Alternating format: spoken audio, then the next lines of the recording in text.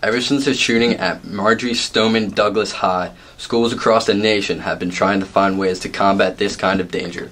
We found members of John Carroll had ideas of their own on how we can improve our school security. Um, I think maybe like a security guard on staff, uh, policeman. And armed personnel?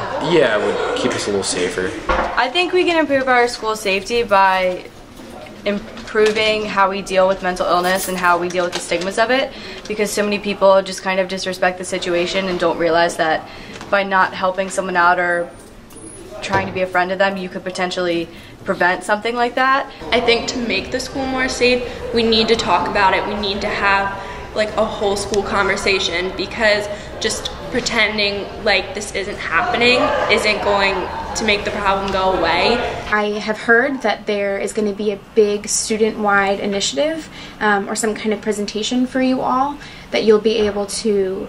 Um, also be briefed on it. I think that like for us to actually like realize how real it is and know what to do, we would have to be like caught off guard in the situation and not always know when the lockdown drill is going to happen because then like we're just waiting for it. Like you're not going to know when a shooter's coming. I think to make us actually like get the real experience of what could happen, we need to put we need to be put in a real like situation where it could actually happen.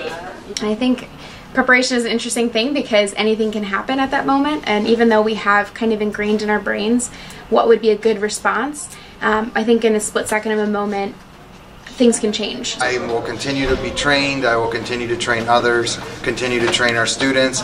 Our drills will evolve. Our drills will change over time. We have a vulnerability at that front door, you know, and it's easy. It's not just a matter of Miss Fogarty pushing that button. The problem is, and this is part of the culture here, you all are very polite.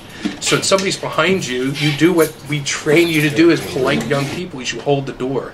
And these are part of the things we're going to have to train you. Unfortunately, if you don't know the person behind you, you can't hold the door. Every person has to have permission to come in. While the story is still a work in progress, just this week, all students received an email from Principal Tom Durkin stating that we would be taking some additional steps to help with the safety of our school. All faculty and students are going through an active shooter training.